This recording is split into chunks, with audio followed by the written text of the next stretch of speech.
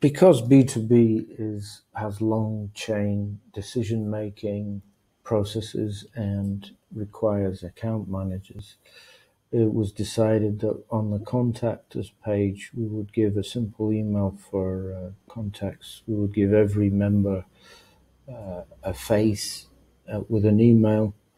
That's as well as uh, a form with simple shipping to uh, unclog it. They were getting so many within and they didn't know what to do. Now it goes to individual uh, boxes there. Uh, also, to avoid it, we have these clicks here where people can track and go out. So that was a simple way uh, of trying to sort the madness out from the back end.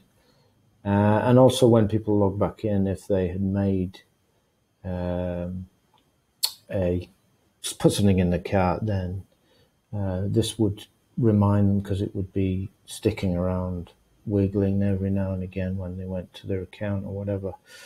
Um, but what we found was that um, over a lot of testing, this was a very, very simple and a very efficient way to do it compared to what you get here. So if you compare you know, even with Brizy, you you can uh, compare these two.